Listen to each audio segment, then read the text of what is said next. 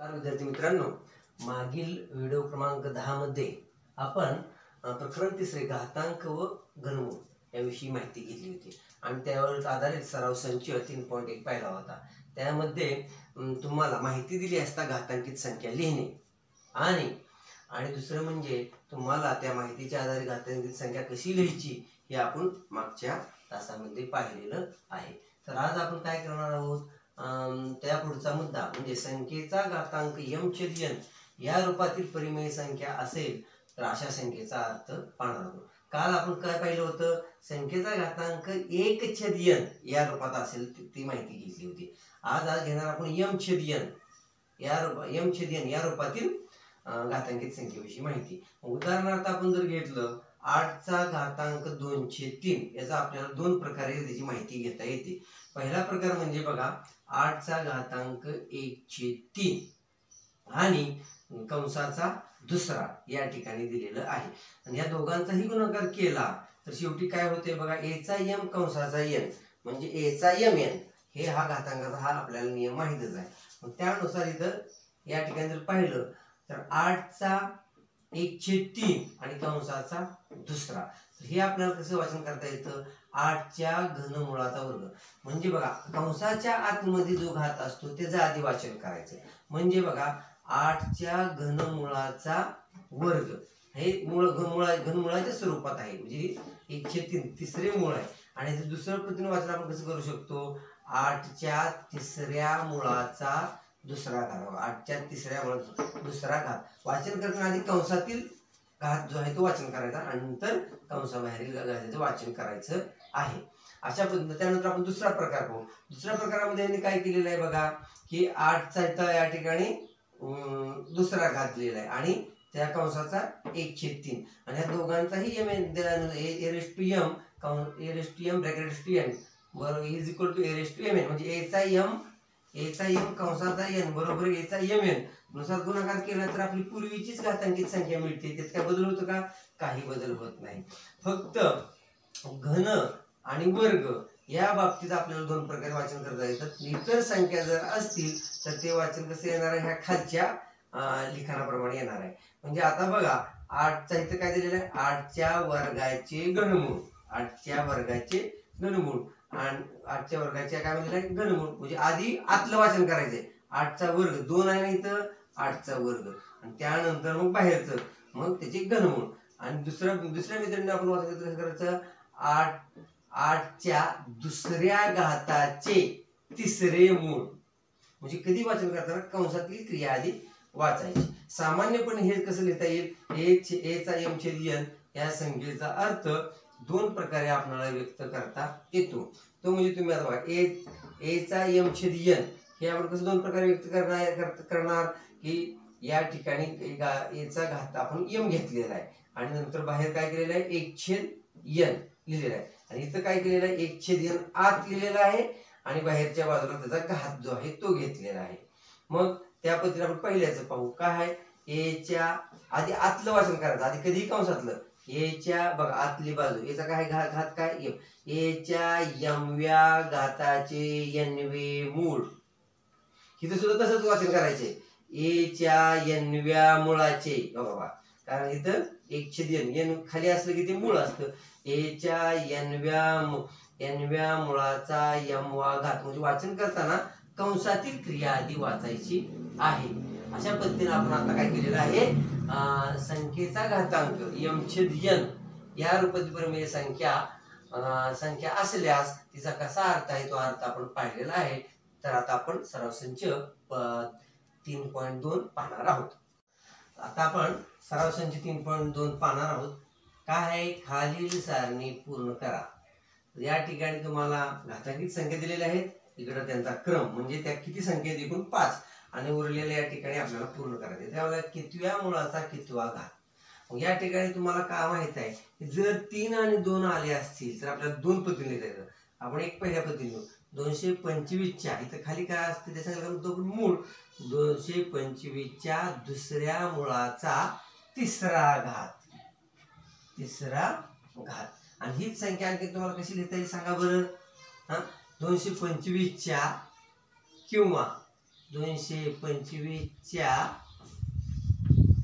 वर्गमुळाचा. दोनला आपण वर्ग म्हणतो का नाही? वर्गमुळाचा वर्गमुळाचा घन वर्गमुळाचा घन. म्हणजे तुम्ही या किंवा या दोन्हीपैकी एका ह्याने लिहू शकता. आणि त्यानंतर मग इथं किती पद काय म्हणाले कितव्या घाताचे कितवे मूळ? मग इथं काय येईल तुमचं? दोनशे पंचवीसच्या च्या तिसऱ्या घाताचे तिसऱ्या घाताचे मूळ जे असतं ते खाली असतं. तिसऱ्या घाताचे दुसरे दुसरे मूळ. आणि तेच परत हे म्हणजे घन तीन आणि दोन आल्यामुळे हे आपल्याला दोन दोन प्रकार लिहिता येतं. तसंच आपण इथं किंवा म्हणून इथं किंवा. जसे तसं किंवा म्हणून आपण आणखी दुसरं लिहू शकतो. हे फक्त केव्हा लिहिता येईल? फक्त इथं तीन किंवा दोन असेल इतर वेळेला मात्र ते एकच पद्धतीने आपल्याला लिहिता येणार आहे. मग इथं कसं लिहिणार सांगा बरं? दोनशे पंचवीसच्या दोनशे पंचवीसच्या घनाचे दुसरे मूळ. काय म्हणायचे? दोनशे पंचवीसच्या दोनशे पंचवीसच्या घनाचे घनाचे वर्गमूळ. इथं कसं लिहिलं होतं?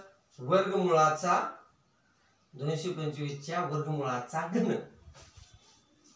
तसं तिथं घनाचे वर्गमूळ येईल आणि मग आता आपण या ठिकाणी पंचेचाळीस पंचेचाळीसचा किती आहे? चार छेद पाच आता कसा सांगा बरं कसं लिहिता येईल तुम्हाला?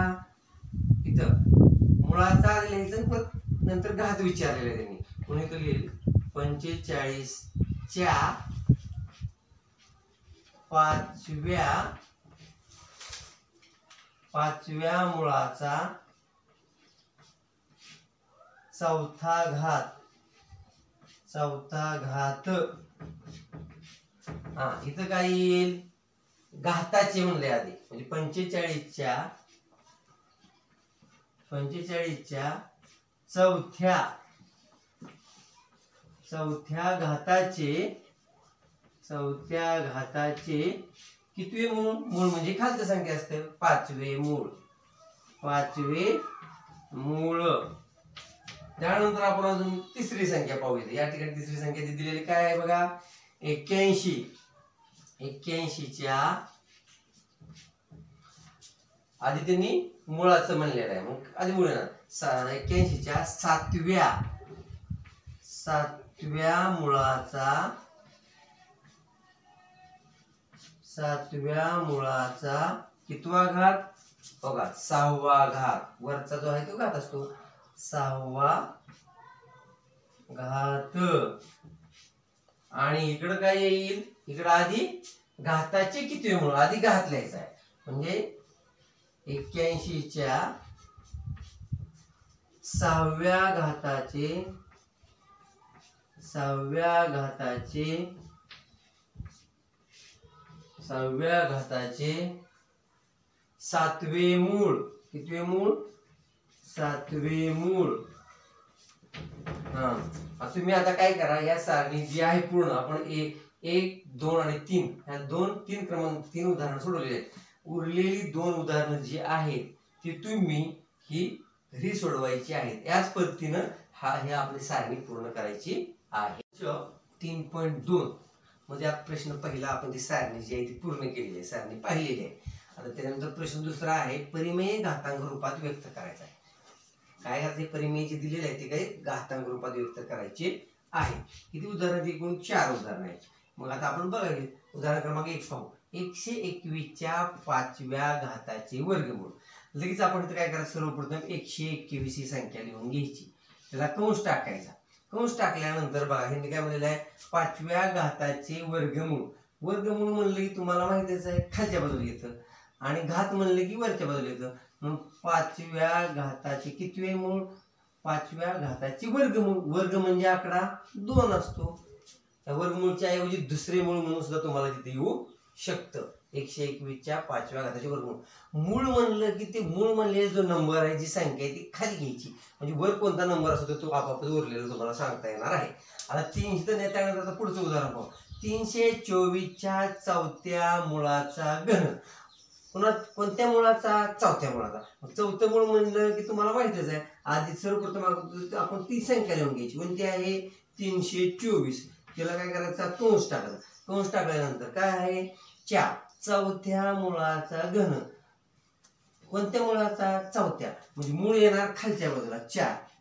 आणि काय म्हणलेलं आहे? घन. घन म्हणजे घन म्हणजे तीन ते वरती अंशस्थानी. म्हणजे एक मूळ म्हणून तुम्ही जर लक्षात ठेवलं तर ती छेदस्थानी मूळ असते एवढं एक लक्षात ठेवायचं.